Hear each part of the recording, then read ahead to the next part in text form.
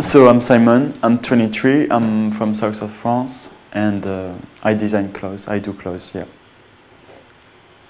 I decided to, to move to Paris at uh, 18 to do a fashion school. I did three months in this fashion school and I stopped. It was also very spontaneous, you know, I lost my mother and was like, okay Simon, you just, you have no time in the life, so do what you want to do now.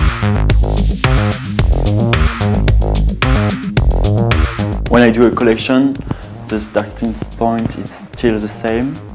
It's a story with a real character. So it's a girl, and sometimes she's lost with dog. It's still a real story, and then I do clothes. It's more in this sense, you know. When I wake up and I don't think about like a, a shared detail. I think about a woman. I think about a, a strong image of, of this woman. I love the clothes, but it's not my motor. This last show and this last winter, I was excited to do something around the swimming pool.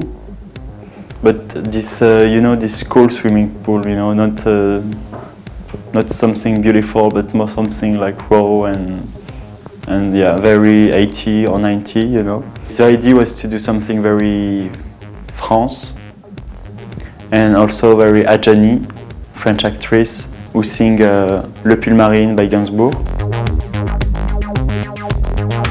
A Jacquemus woman is more some, someone like very raw, someone who can say like shut up, someone who can spit on, on, on the street, you know.